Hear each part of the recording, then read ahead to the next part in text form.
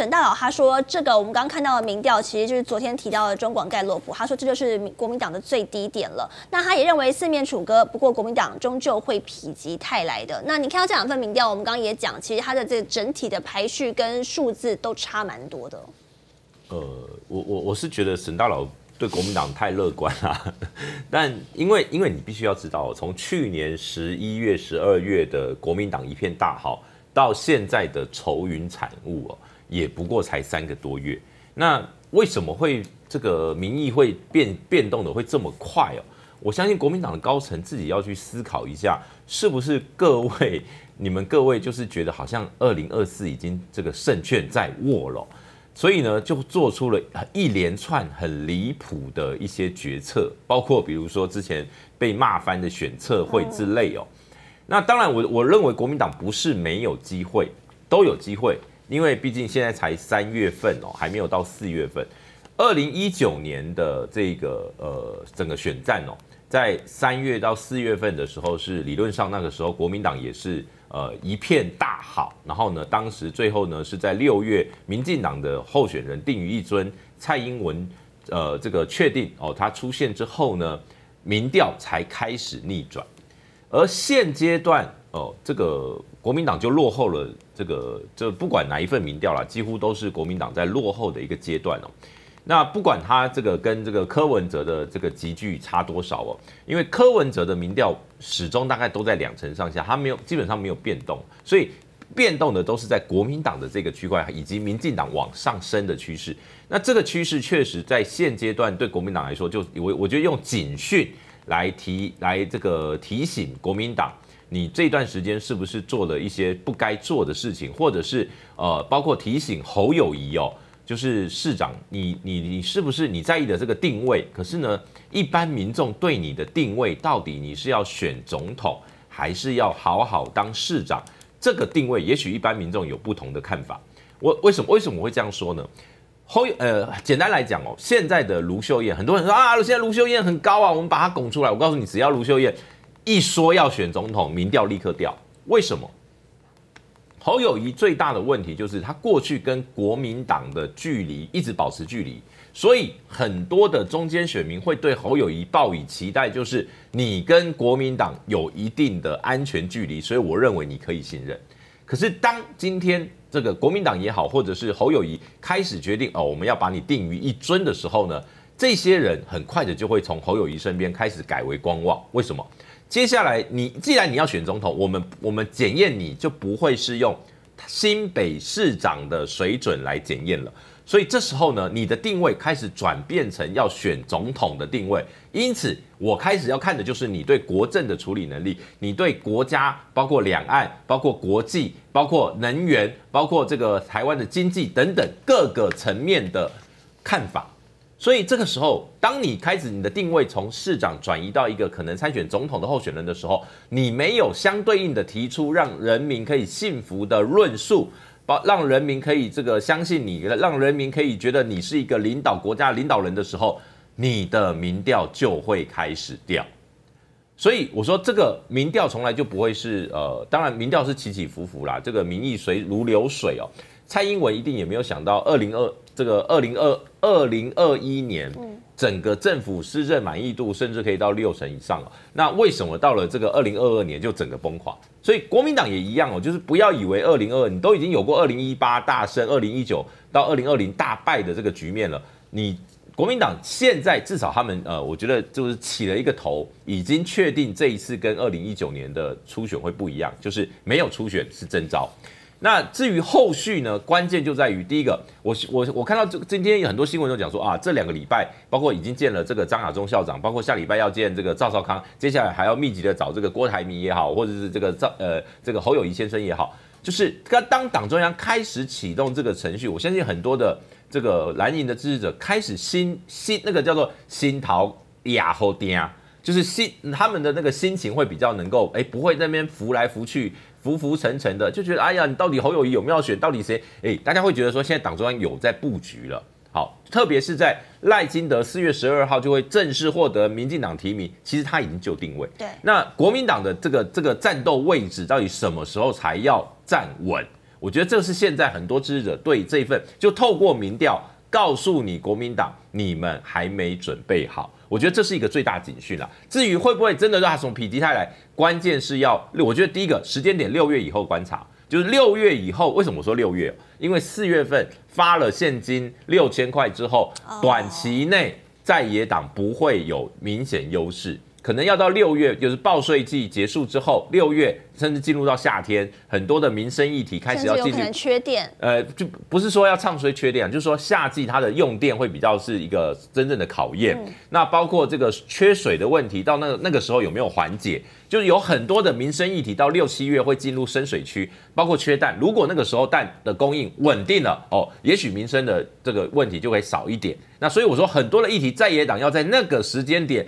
表达出你们的这个战力，那你一旦有了战力，包括执政党的一些疏失，如果被放大，然后呢，或者说他们确实没有办法能够处理好民生议题，整个民调还会再有变化。所以我说，关键要在六月以后，甚至包括两岸的议题，包括你比如说下周的这个蔡总统出访，包括马前总统的出访等等的这些，都有可能影响后续的民调的变化。但是关键本质上，国民党能够操之在己的。就是把自己的候候选人提出来，并且为他准备好所有治国的论述。没错，哎，那我想要先问杨明哥，因为我们的网友宋仲基的董内，他也想要再问问看，您说你觉得赖清德有什么样的国际观吗？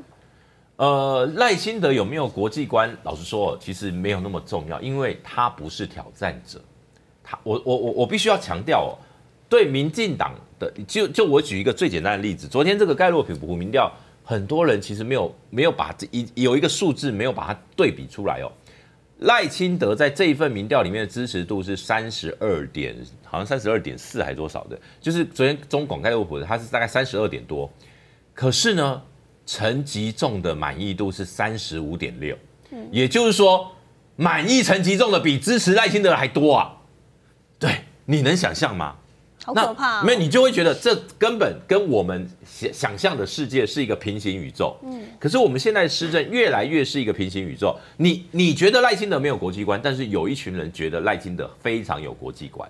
所以我说，这个对于现在的执政者来讲，尤其届时他可以靠副手支撑。那同样的啊，比如说如果赖清德有国际观，那一样的来考检验你侯友谊有没有国际观的时候，这时候两个人又要站在同一个。这个这个这个舞台上面较较劲嘛，对，所以我说这个是比较的，不是说比如说赖清德跟蔡英文比，相对来讲他在国际谈判国国际的这些的这个经验一定不足，可是至少赖清德有过担任行政院长的经历，那他在副总统他也出访过，可是我们就问侯友谊，比如说如果今天要检验侯友谊的时候，侯友谊有没有办法展现出至少他要不能输给赖清德的这些的能量？嗯，所以我说这个是这个是一个动态的，它不是说它一定有或没有，还有包括支持群众对他的期待等等的。所以如果呃这个后续国民党能够展现出这个治国的能量，我相信民调起来的这个幅度应该是呃不不会太差。但是关键就在于说你要展现出那个定位，嘿。嗯，呃，袁建元有一题比较相对敏感的，要来请教您一下了，因为我们刚刚你也提到嘛，淡水的那个侯孟凯跟陈伟杰之争，最后呢由这个侯市长出面之后瞧好了。那你刚刚也自己有提到新店嘛，跟罗明才这个挑战者哦，这个刘哲章，那因为他看起来显然就是没有要被协调，所以他才刻意选在下午低调的去登记，让这一切看起来大势已定。那有一些晋侯人士就有分析了，他说淡水跟新店，他在选区上本本质上有不同，所以在淡水，第一个它也不是蓝营的大本营，也不是铁票仓，它有不能输的压力，而且千万要像拆弹一样的小心翼翼。所以侯友谊出面做了这一把，可他不认为侯友谊会在新店，因为他是一个铁蓝区，所以无论是谁都有机会会赢的状况下，他会出手桥。这部分想要请教你，这个完全认同他的说法，你知道为什么吗？哦，因为那个进侯人士就是我啊，因为那个记者就是问我嘛，然后他把我贴个标签叫进侯人士。所以，所以呢，这个我真我角色很多元啦。但我我跟大家讲，就是说我确实是这样认为，就是说那个淡水就是一比一啦，有有裂痕的话就便宜民进党，新店的话就就如果我刚刚讲的，不要打到不要打到这个两个真的有裂痕，那只要只要胜出那个人可以得到支持，我觉得我觉得新店基本上是没有问题的。所以罗明才七连霸，但是那个刘哲章他认为说，总是要有一些新面孔嘛，老你不能做个十几届下去嘛。而且上一届罗罗明才已经有跟刘哲章好像讲好，就是说是不是可以让刘哲章出来选。所以这个是一个世代流动，我们不要说交替啦，就是一个人才的流动。那我我个人是觉得人才流动这一点，在国民党应该要去要去重视这个议题啦。不过真的不要撕破脸，我我觉得刚刚讲那个徐小清跟费永泰那个，我一直很不解啦。就是他们，他们两个不都找了非常多的主任吗？呃，不，不要，徐小青说是那个面店，那个费永泰讲说是因为先看到面店老板来登记，所以他马上主任就就去登记。然后徐小青说那个面店主任跟他没有关系嘛。所以如果如果说是按照徐小青的说法的话，是那个费永泰他们先准备主任要去登记，是是他先发动的。然后徐小青又又弄了一个主任，然后费永泰又弄了一个主任，哎。我然后他他们都说，因为我是在现场看到，所以我才去登记的。哎，我我我跟你讲，我很难想象为什么？因为第一个，你领表、你登记都要准备非常多资料，哎，你有办法在几分钟之内就已经准备好吗？要填很多东西，哎。那第二个还要缴一百一十万，呢，这大家哪去哪里调这一百一十万？所以可见就是这早就是在那边等的啦。那这样子的话，就真的会让人家觉得过激。我我我的看法是过激，过激就是没办法不不容易整合。所以这个问题，我是觉得。真的要要稍微冷静一点，要冷静一点。然后刚刚讲那个蓝白河啊，我的看法是这样哈，就是说确实就是郭呃柯文哲是会左右侯侯友谊的选情哦，但是你你去克服这件事情有两个方法。有的人讲说，那不然就蓝白河好了。好，蓝白河不是说不好，但蓝白河有主观跟客观的因素，就是说会不会郎有情妹有妹无意呀？国民党很想跟柯文哲合，可是柯文哲都不想跟国民党合。到目前为止，我看那个趋势就是这样啊，因为那个连胜文也都说过，他说他之前跟柯文哲选过，然后然后他他被柯文哲欺负，但是他他都愿意蓝白合，其实这是一个很善意嘛，我我觉得是很善意嘛。但是民众党也不接球嘛，民众党的接球方式就是说不要活在选举的阴影啊，哈，我们可以跟蓝合，也可以跟绿合，就是说你会感觉到他不就有出现一种郎有情妹有妹无意的状况。所以这这个会增加那个技术上的困难，所以蓝白河我们先把它抛在一边。还有一个方法，可以可以得到柯文哲的支支持者的支持啊，就是你壮大自己嘛。你看你之前侯友谊的民调很高的时候，柯文哲的民调就是就没有那么高嘛？为什么？因为侯在过去是可以吸到柯粉的票嘛。那现在为什么感觉好像哎呦柯文哲忽然举足轻重了？是因为侯友谊的民调下来了嘛？那侯友谊的民调下来，当然跟当然跟他那个这段时间都没有积极表态，要带领大家去一战，这个态度是有关的嘛？这也不用否认嘛。所以沈富球才会讲说侯友谊是关在笼子里面的老虎嘛。现在你看起来关在笼子里面很，所以大家没有什么支持。但笼子一打开，他会冲出去，这是沈富总讲的。嗯，那当然是是怎么样，我不知道。因为侯友谊你也要加强自己的论述，就是说刚刚杨明说的那些，对不对？就是他也许大概按照我们党的脐程啊，我这是我判断的啦。